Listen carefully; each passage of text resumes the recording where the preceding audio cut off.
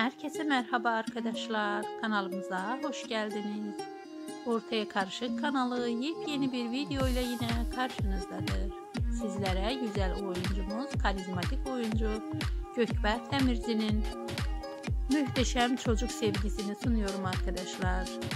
Gökberk Demirci sevgilisinin yeğeni, küçük yeğeni Emriko ile olan özel görüntülerini sosyal medya hesabından paylaştı ve beğeni topladı arkadaşlar.